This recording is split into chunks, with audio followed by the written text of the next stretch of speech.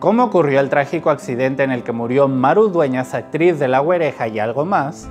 La actriz y comediante mexicana María Elena Saldaña trabaja en una nueva versión de su exitoso programa La Güereja y algo más, producida por Reinaldo López para Televisa. Pero el estreno se llevará a cabo con muchos sentimientos encontrados ante la gran ausencia del actor Benito Castro, el papiringo, quien lamentablemente murió el pasado 11 de septiembre a los 77 años de edad tras sufrir una fuerte caída por unas escaleras en su casa en la Ciudad de México. Tuvo una grave hemorragia interna lo cual hizo que su presión arterial disminuyera drásticamente. Benito Castro no será la única gran ausencia en el regreso de la güereja y algo más.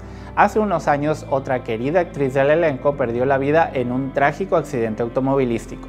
Se trata de María Eugenia Dueñas Vargas, quien fuera conocida como Maru Dueñas. También se desempeñó como directora y productora teatral.